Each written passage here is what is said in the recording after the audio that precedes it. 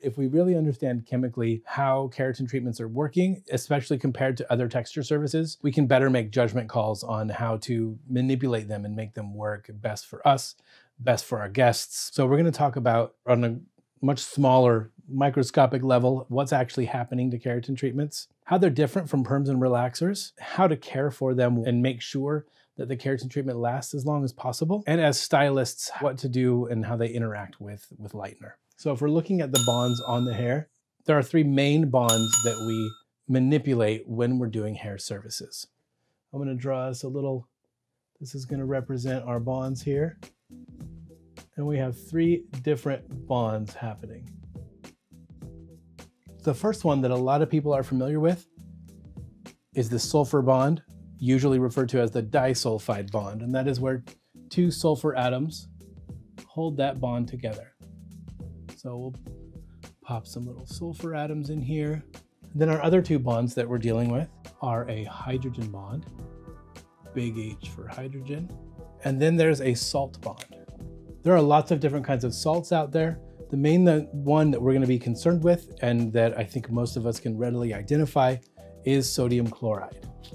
In a sodium, Cl is chlorine, hydrogen is H, sulfur is S. Now when we're thinking about these three bonds, we have permanent and temporary bonds.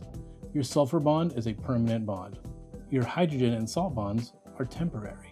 When we're doing things like styling the hair with a blow dryer, a curling iron, doing a wet set, when you set your hair and then you get it wet, that's, that's a form of reshaping these temporary bonds. Both the hydrogen and the salt bonds are reshaped with moisture and heat or combination of those things.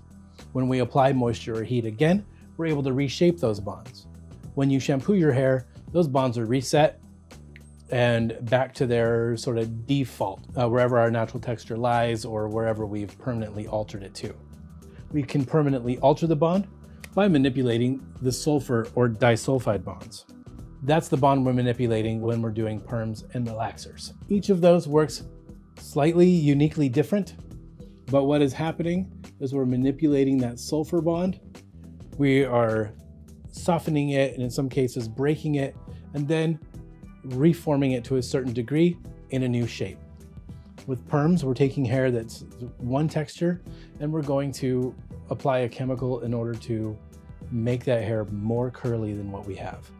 With relaxers, it's the opposite. We're going to apply our chemicals and reduce the curl, reduce it, remove it. These are permanent processes because they involve that sulfur bond. Each of these was invented uh, a little more than 100 years ago. We know a lot about perms and relaxers because we've been studying them for a long time. The first machine that gave a perm was invented in 1906. And then um, the first thioglycolate perm solution was invented in 1941. The first cream relaxers to straighten hair were invented in 1909. We have about 100 years worth of study behind those and really understand how they work. The first keratin treatments hit the market around 2007.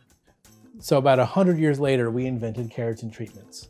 Keratin treatments use different chemicals and they are going to bond with the hydrogen and the salt bond and make them more permanent. So that means we're essentially making a shell around the hair, we're smoothing it out. Yes, we are repairing and replacing some missing keratin in the hair from environmental or chemical damage, but they are still temporary. Because keratin treatments work with that temporary bond, keratin treatments are temporary.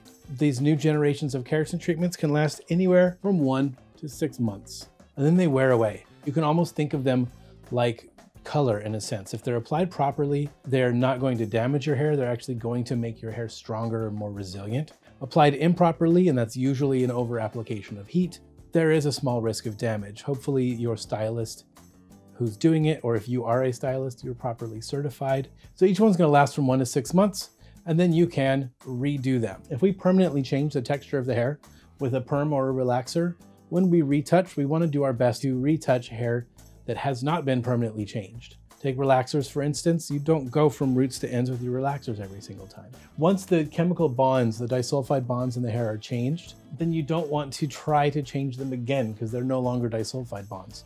they're something else. When it comes to retouching perms and relaxers, you have to try to just do the new growth of the previously untreated hair. Since keratin treatments are temporary, yes, the more we stretch these bonds, for the most part, once that keratin treatment has run out, it's run out. So the retouching process on keratin treatments is just to redo them. Roots to ends, everything, treat the previous hair as untreated hair. Unless you're dealing with some, some other issues where the hair can't handle as much heat on the ends, that's gonna be a, a professional decision to make. So we understand a little bit how they work, how they're not like perms and relaxers. They're more like a, they're more like a heat style. They're a temporary thing. Hey guys, thanks for watching this video. If you enjoyed it, you enjoy being nerdy about hair and hearing the occasional dad joke, go ahead and check out another one of my videos. If you want to see them as soon as they come out, go ahead and click subscribe. Feel free to share this video with any of your nerdy friends. I'll see you next time. Thanks.